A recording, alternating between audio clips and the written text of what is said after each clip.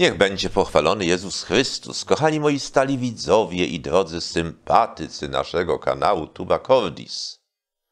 Proszono mnie, i to już niejednokrotnie, żebym podjął się mm, takiego trudu nauki łacińskiej wymowy modlitw.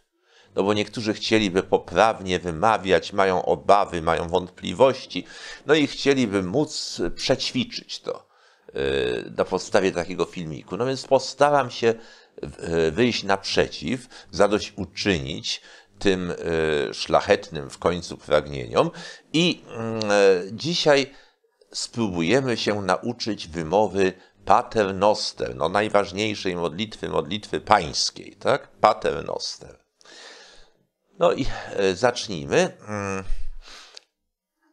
To potem, jak już będziemy mieli i Paternoster, i Ave Maria, i Gloria Patri, to wtedy dziesiątek różańca sobie przećwiczymy i odmówimy, tak? Ale to wszystko po kolei, nie wszystko naraz, żeby nie zniechęcić, nie zadręczyć, nie zamęczyć, nie zajeździć konia, tak? No więc tak małymi dawkami będzie, małymi kroczkami. Paternoster dzisiaj.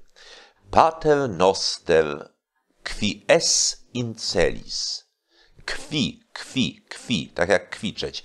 qui es in celis, nie żadne tam celis przypadkiem, celis, pater noster qui es in celis, sanctificetur nomen tuum, adveniat regnum tuum, fiat voluntas tua, sicut in celo et in terra.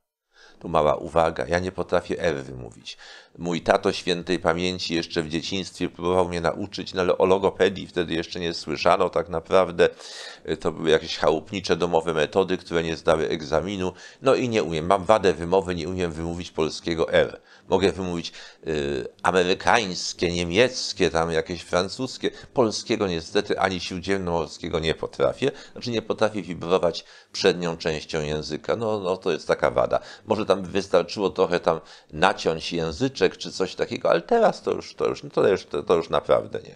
To już się nie opłaca. W każdym razie, to uprzedzam, że, to, że, to, że tego R proszę nie naśladować. Ja mam takie po prostu i tyle. Więc tak, sanctificetur nomen tuum, adveniat regnum tuum, fiat voluntas tua, sicut in celo et in terra. Panem nostrum quotidianum tu przypominam, że może być, że to jest oboczność. Można mówić quotidianum, a można mówić quotidianum.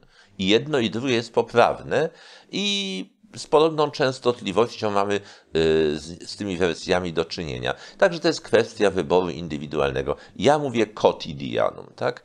Panem nostrum quotidianum da nobis hodie et dimitte nobis dimitte. To nie jest dimite, ani nie jest dimitte, tylko dimitte dimitte, dimitte, długie te, tak? Et dimitte nobis debita nostra, sicut et nos dimittimus debitoribus nostris, et nenos inducas in tentationem. No, jak ktoś mówi C, takie zwyczajne polskie C, nie zgrzeszy ciężko w każdym razie. Chociaż to nie jest C, to jest T palateli, mocno palatylizowane, czyli język mocno przy podniebieniu i to wychodzi bardzo podobnie jak C, tak? Panem nostrum y, et nenos inducas intentationem, cionem, tak? Intentationem, set libera nos amalo. Amen. Jeszcze raz powtórzę. E, najpierw może tak wolno, żeby, żeby był czas na, na powtarzanie e, na bieżąco, tak? Pater noster. Qui es in celis. Sanctificetur nomen tuum. Adveniat regnum tuum. Fiat voluntas tua sicut in celo et in terra. Panem nostrum quotidianum da nobis hodie, et dimitte nobis debita nostra, sicut et nos dimittimus debitoribus nostris, et ne nos inducas in tentationem, sed libera nos a malo. Amen.